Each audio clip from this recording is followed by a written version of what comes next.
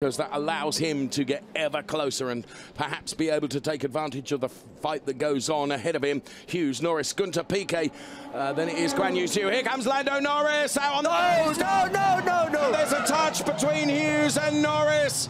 Hughes spins around. He just manages to keep it out of the arm, Armco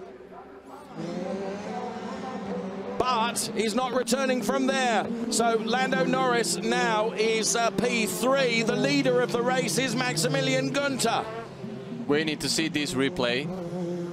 I want to see this replay because we see definitely both cars were braking on the on the dirty side uh, of the uh. road. I really want to see because I'm not sure if there was a contact. Looks like a contact, but I have the feeling that Jake lost the car already on the braking because he was braking on this inside well, dirty bumpy here zone. It comes. So Lando dives to the inside, inside. there. Yeah, I think there is a contact a little bit after, yeah. but I think Jake Hughes braked on the dirty zone on the bam, and he lost. He locked the rear. He lost. I'm not, I don't agree with you because I don't think Jake Hughes was quite on the dirty. I think he was just off. Uh, we'll see it again.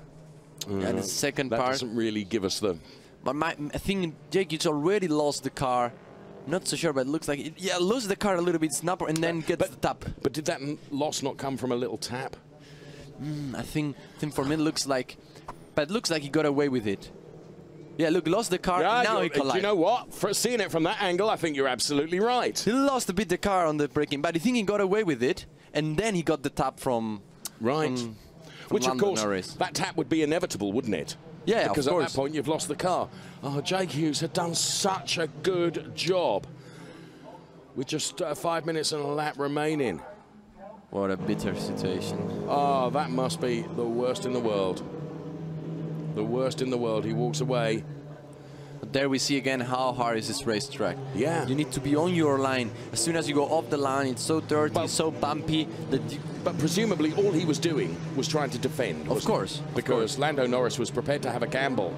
And you could see the dust being kicked up, couldn't you, from the Lando exactly. Norris car. So at that point, Jake Hughes presumably feels, right, I'm just going to try and uh, encroach over a little bit to, to, to, to, to, to block that move, and then ends up ultimately paying the price. Oh, not in neutral.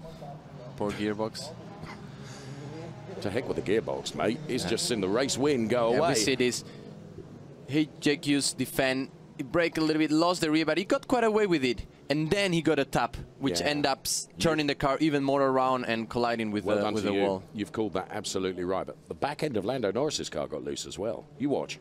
Yeah, yeah exactly. That's why he, lo he lost also, uh, let's say, power braking performance. That's why he end up colliding with. Uh, Does this not?